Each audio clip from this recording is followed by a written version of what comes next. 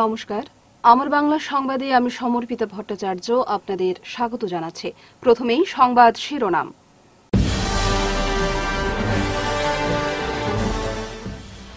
বাঁধ ভাঙল বেথুকান্দিতে। বরাক নদীর জলে ভাসছে শিলচর।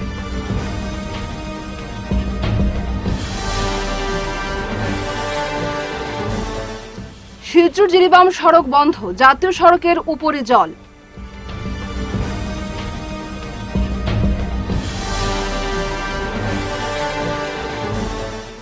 প্লাবিত শিলচর কুম্ভীরগ্রাম রোড যান চলাচলে নিষেধাজ্ঞা।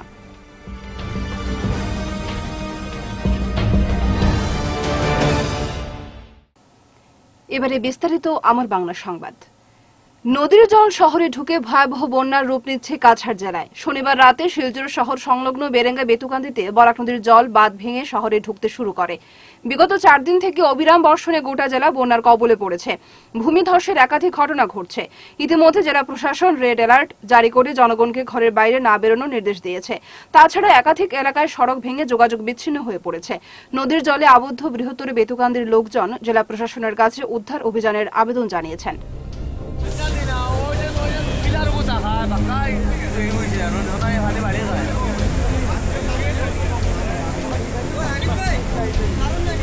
রবিবার বৃষ্টির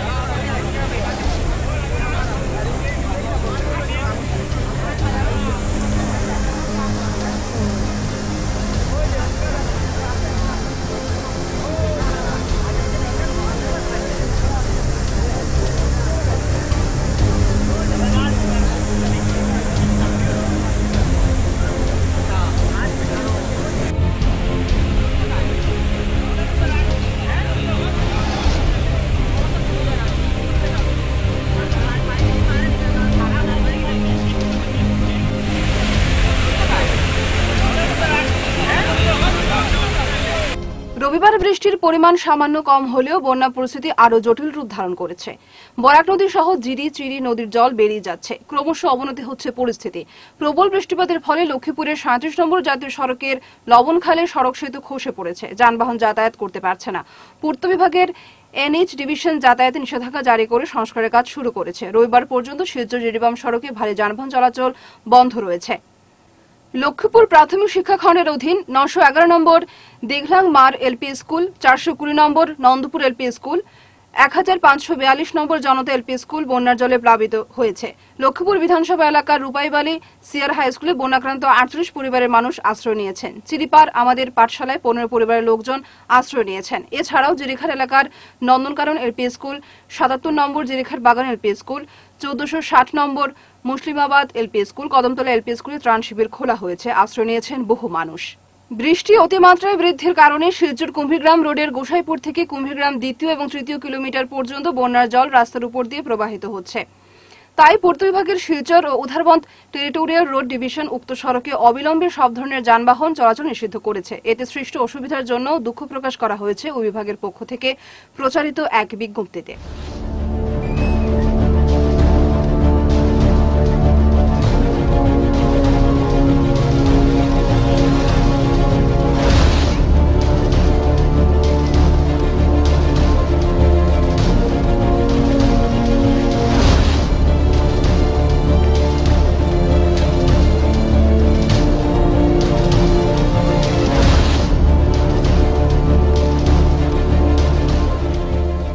অবিরাম বৃষ্টির ফলে দ্বিতীয় দফায় জলমগ্ন হয়ে পড়েছে শালচাপড়া ও তাপাং ব্লকের বেশিরভাগ গ্রাম।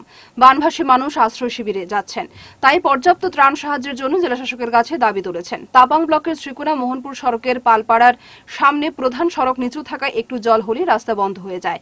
যেহেতু ওই সড়কের জন্য দশ কোটি টাকা বরাদ্দ হয়েছে, তাই ওই জায়গা দুহাত উঁচু করার জন্য জেলাশাসকের কাছে দাবি জানান এলাকাবাসী।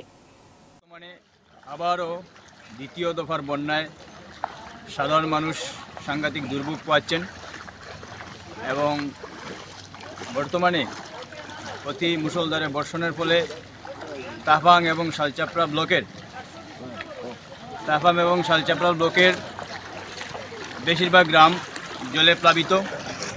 মানুষ আশ্রয় শিবিরে যাওয়ার চেষ্টা করছেন এবং যাচ্ছেন এবং বর্তমানে আমরা যেখানে দাঁড়িয়ে আছি, তাফাং ব্লকের একটি গুরুত্বপূর্ণ সড়ক শ্রীকুনা মোহনপুর সড়ক। এই সড়কের প্রায় বিশ থেকে পঁচিশ হাত যে জায়গা রয়েছে, আমরা যেখানে দাঁড়িয়ে আছি সেগুনা পালপাড়া, পালপাড়াতে। এখানে একটু জল জল হলেই রাস্তা ডুবে যায়। তাই আমরা এখানকার জনসাধারণ সবাই দাবি করছি যে এই বর্তমানে যে রাস্তার জন্য সেগুনা মোহনপুর সড়কের ছয় কিলোমিটার জন্য দশ কোটি টাকা বরাদ্দ হয়েছে, এখানে ওই জায়গাটারে প্রায় দুই হাত উঁচু করার জন্য আমরা দাবি করছি জেলা শাসকের কাছে এবং পাশাপাশি দাবি করছি যে শ্রীকুনা বৃহত্তর শ্রীকুনা তাপাং এবং শালচাপড়া ব্লকের শ্রীকুনা হাতিরার, মানিকপুর, পাতারি গ্রাম থেকে শুরু করে এবং নির্জয়নগর থেকে শুরু করে সব অঞ্চলে জলে প্লাবিত। এখানকার জনসাধারণকে পর্যাপ্ত রিলিফের ব্যবস্থা করার জন্য আমরা জেলা শাসকের কাছে দাবি করছি। শনিবার বিকেল থেকে বন্যার জল ঢুকতে শুরু করেছে ধলাইয়ের পানি ভরা চোরখাল শালগঙ্গার পার দারবি ও পুটেখালের বিভিন্ন এলাকায় এখন পর্যন্ত বন্যার জল প্রায় দুই শতাধিক ঘরে ঢুকে পড়ায় জনগণ প্রচন্ড অসুবিধার মধ্যে পড়েছেন বহু এলাকায় মানুষ জল বেষ্টিত হয়ে পড়েছেন প্রচুর ফিশারি ডুবে যাওয়ায় মাছ ব্যবসায়ীদের মাথায় হাত পড়েছে বেশ কিছু রাস্তা জলের তলায় চলে গেছে हमने घ- घर से बा- रास्ता में बानी जा हमने के रहे के कोनो शरण नहीं खे खाए पिए के कुछ नहीं खे हमने के हमने घर से रास्ता में बानी जा हमने खाने पीने कुछ नहीं खे बिछना लता लेके सब रास्ता में खड़ा बानी जा हमने के घर में कोनो शरण नहीं खे কালবার হাউস জিপে আমরা গা পঞ্চায়েত কেউ এখনো দেখানিতে আইসে না আর আমরা অনেক দুঃখ কষ্টতে আছি এই শতাধিক পরিবার জলের নিচে এবং সরকারি কোনো সাহায্য সহায়তা এবং কোনো খোঁজ খবর এখনো পর্যন্ত কেউ কোনো প্রতিনিধি থেকে এখনো পর্যন্ত নেওয়া হয়েছে না। জনসাধারণের এত দুর্ভাগ্য এবং রাস্তাঘাট বিভিন্ন কষ্টের মাধ্যমে এখনও পর্যন্ত জনসাধারণ আছেন। প্রবল বৃষ্টিপাতের জন্য হাইলাকান্দি জেলার প্রায় শতাধিক শিক্ষা প্রতিষ্ঠান বন্ধ হয়ে গেল। কিছু শিক্ষা প্রতিষ্ঠানে ত্রাণ শিবির খোলা হয়েছে।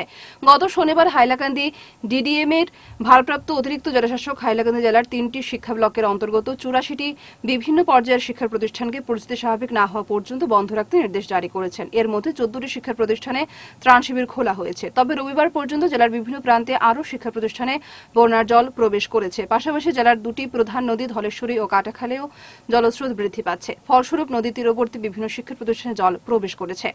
সামনে গুণোৎসব, তাই শিক্ষা প্রতিষ্ঠানগুলোকে সাজিয়ে তোলা হয়েছিল। কিন্তু এই কয়েকদিনের ধারা বর্ষণে বিভিন্ন শিক্ষা প্রতিষ্ঠানগুলোতে হয়তো জল প্রবেশ করেছে বা নতুন ত্রাণ শিবির খোলা হয়েছে। এদিকে বন্ধের তালিকায় সোমবার পর্যন্ত আরও শিক্ষা প্রতিষ্ঠানের সংখ্যা বৃদ্ধি পাওয়ার সম্ভাবনা রয়েছে।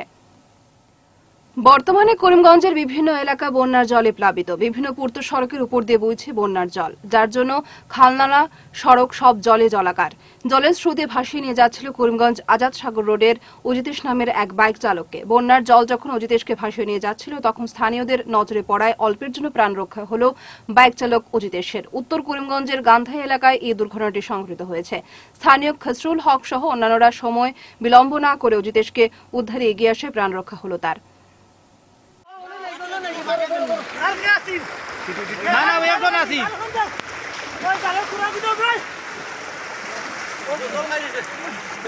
জল খাইছে জল খাইছে মানুষটা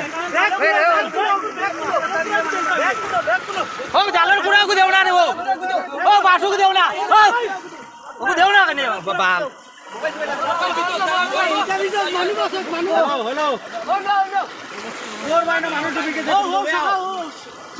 আরে প্রদীপ ভাই সামনে মানুষ মানুষ পাঠাইছি বাইক বাইক জ্বলন নিছে।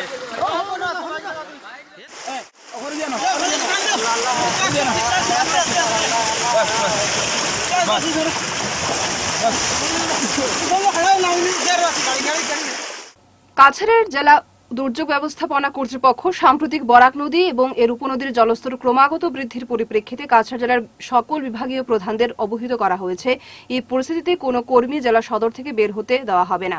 চরম জরুরি অবস্থা ছাড়া যে কোনো অসহযোগিতা এবং অসমন্বয়কে ডিএম অ্যাক্ট দু এর প্রাসঙ্গিক ধারার অধীনে কঠোরভাবে দেখা হবে। এই আদেশ অবিলম্বে কার্যকর করতে জেলাশাসক আদেশ জারি করেছেন। একইভাবে জরুরিকালীন পরিস্থিতির জন্য করিমগঞ্জের জেলা শাসক ও জেলা দুর্যোগ ব্যবস্থাপনা কর্তৃপক্ষের চেয়ারম্যান এক আদেশ জারি করে জেলায় দুর্যোগ ব্যবস্থাপনার দায়িত্বে থাকা সব বিভাগীয় আধিকারিক ও কর্মচারীদের হেডকোয়ার্টার ত্যাগ না করতে নির্দেশ দিয়েছেন। ইউথস এগেনস্ট সোশ্যাল ইভিলস, অর্থাৎ ইয়াসি শিলচর শহরের বৃহত্তম মালুগ্রাম এলাকায় বিভিন্ন ত্রাণ শিবিরে আটকে থাকা একশো পঞ্চাশ শিশুর মধ্যে খাদ্য সামগ্রী বিতরণ করেছে। সামগ্রীর মধ্যে রয়েছে কেক, বিস্কিট, ফলের রস, মিষ্টি এবং চকোলেট। প্রতিটি বন্যা ত্রাণ শিবিরের প্রথম সকাল শিশুদের জন্য খুব কঠিন হয়ে ওঠে, বিশেষ করে খাদ্যে জোগাড়ের জন্য। তাই প্রথম সকালটি সুন্দর করে তুলতে ইয়াসি এগিয়ে আসে। রবিবার বিতরিত খাদ্য সামগ্রী ইয়াসির সদস্য শুভম রায় তার জন্মদিন উপলক্ষে স্পন্সর করেছেন। ইয়াসি শীঘ্রই আরও কিছু খাদ্য বিতরণ অনুষ্ঠানের আয়োজন করবে।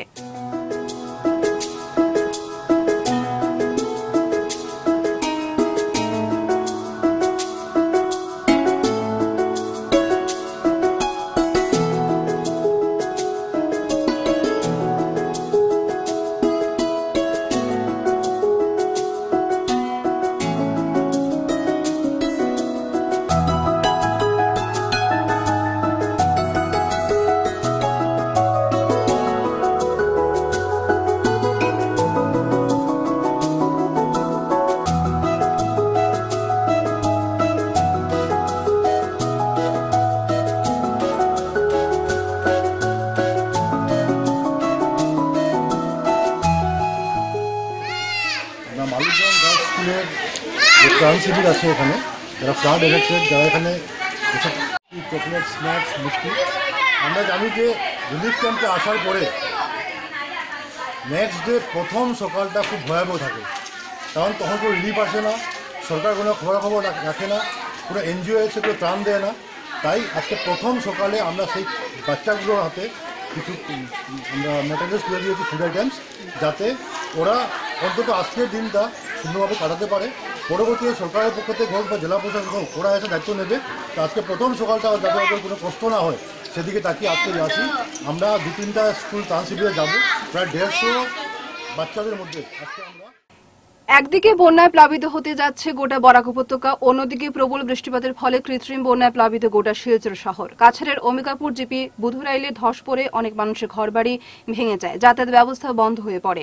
রবিবার শিলচর, ভকতপুর, লেঙ্কা, মারুফ অর্গানাইজেশনের ব্যবস্থাপনায় যাদের বাড়িতে ধস পড়েছে এবং যোগাযোগ ব্যবস্থা বন্ধ হয়ে আছে, সেখানে জেসিবি লাগিয়ে উদ্ধার কাজে সাহায্য করা হয়। ধস পড়ে মানুষের ক্ষয়ক্ষতি হয়েছে বলে জানা যায়। এদিন উপস্থিত ছিলেন সংস্থার সভাপতি এবং ওবিসি মোর্চার কাছাড় জেলার সম্পাদক। আমার নাম এই আমরা গতকাল রাত্রে আমরা এই খবরটা আমরা পেয়েছি। আমার সাথে সাথে আমার লেঙ্কা মারক সংগঠনের সভাপতি মিস্টার বিমান সিনহা, আমি আর মিস্টার বিমান সিনহা সিনহা নবীন সিনহা, আমরা গতকালকে রাত্রে এসেছিলাম। আসার পর আমরা যে পরিস্থিতি যেটাতে ল্যান্ডস্লাইড হয়েছিল, রাস্তা বন্ধ ছিল, একটা বাড়িতে দশ করে বাড়িটা ভেঙে ভেঙেছিল, এখন দেখি পিছন দিকে কাজ করতেছে এটা নিয়ে আমাদেরকে খবর করা হয়েছে তারপরে আমরা ওই ল্যাঙ্কামারক সংগঠন দিয়ে টোটাল আটটা পরিবার এই পরিবারের রাস্তাতে মানে এরকম করেছিল, দশ করেছিল, তা সেগুলো আমরা জেসিবি নিয়ে আমরা সাফ করেছি। আর আমরা ল্যাঙ্কামারক সংগঠনটা আমরা নিজে বানিয়েছি, সেটা শুধু আমাদের সোশ্যাল সার্ভিসের জন্য বানিয়েছি। আগামীতেও আমরা যখন জনসাধারণ যখন বিপদে পড়বে তখন আমরা সবসময় সবসময়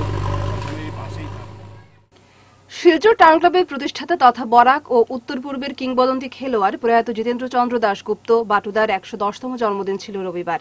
এ উপলক্ষে খুব সংক্ষেপে এক অনুষ্ঠান হয়। শিলচর টাউন ক্লাব প্রাঙ্গণে প্রয়াত জিতেন্দ্র চন্দ্র দাশগুপ্তের আবক্ষ মূর্তিতে ক্লাবের সকল সদস্যরা শ্রদ্ধা সহকারে মালদান শ্রদ্ধা নিবেদন করেন। এরপর জন্মদিন উপলক্ষে ক্লাব প্রাঙ্গণে ক্লাবের সভাপতি দিলীপ নন্দী ও প্রয়াত দাশগুপ্তের পুত্র কল্যাণ দাশগুপ্ত কেক কাটেন। খারাপ আবহাওয়া এবং বন্যা পরিস্থিতির জন্য অন্যান্য অনুষ্ঠানের আয়োজন করা হয়নি। এ বিষয়ে ক্লাবের সভাপতি দিলীপ নন্দী ও প্রয়াত দাশগুপ্তের পুত্র কল্যাণ দাশগুপ্ত বক্তব্য রাখেন। স্বর্গীয় জিতেন্দ্রচন্দ্র দাশগুপ্ত, যিনি বাটু দাশগুপ্ত নামে ক্রীড়া মহলে তথা বরাক তথা কাছাড়, তথা সমগ্র আসামে বাটু দাশগুপ্ত নামে পরিচিত। ওনার জন্মদিন আজ উনিশে জুন। ওনার জন্ম হয়েছিল উনিশশো তেরো খ্রিস্টাব্দে দশই জুন তারিখে। এতদিন আমরা আজ আজ টান একশো দশতম জন্মবার্ষিকী। আমরা এতদিন ক্লাবে ওনার জন্মবার্ষিকী পালন করি নাই, কিন্তু গত বছর আমরা পঁচিশে ডিসেম্বর একটা স্থাপন করি ক্লাবে। শেষ করার আগে বিশেষ বিশেষ আমার বাংলা খবর আরও একবার।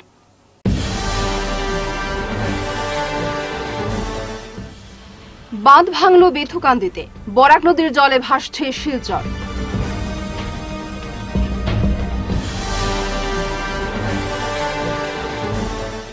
শিলচর জিরিবাম সড়ক বন্ধ, জাতীয় সড়কের উপরে জল।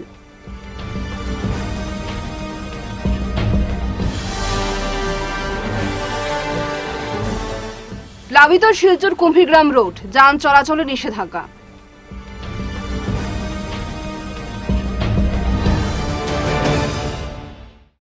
এখনকার মতো আমার বাংলা সংবাদ এ পর্যন্তই। নমস্কার।